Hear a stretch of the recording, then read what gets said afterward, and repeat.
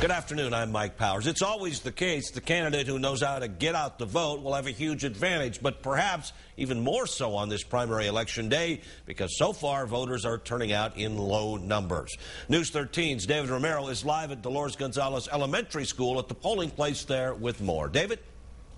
Mike, we've been out here about an hour, and so far we may be, may be seeing about a handful of voters come in here to this precinct, and that's following a trend that we've seen so far with low voter turnout. Now, low turnout applies to both early and absentee voting as well as in person today. Preliminary numbers as of yesterday from the Bernalillo County Clerk's office show only 11% of eligible early voters have submitted their ballots. Statewide, yesterday's figures show around 70, 74,000 New Mexicans have made the decision for the candidate they want to see from their party Party go for the desired job in November.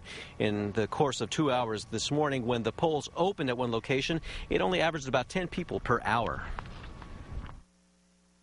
So far, statewide it's about a, a, 9% turnout which is very very low and so i'm here to encourage i hope everybody gets out to vote this is an important election and important indeed because the big vote on the ballot is the race for governor. Democrats have only one choice. That is the current Lieutenant Governor, Diane Denish. The Republicans have five candidates to choose from, and that's, of course, Allen Weh, Susana Martinez, Pete Domenici Jr., Doug Turner, and Janice Arnold Jones. Now, one precinct judge told us earlier this morning that they had to turn some people away from the precinct that they were at because they were at the wrong location. They say before you head out, make sure you know that you're going to your appropriate location. That way your vote will count, and maybe those numbers will go out as far as voter turnout is concerned. Mike, back to you. Okay, David, thanks for that update. Now, with no lines and no rush at most polling locations, you can get in and out in minutes, but that can always change. Remember, the polls close at 7 o'clock tonight.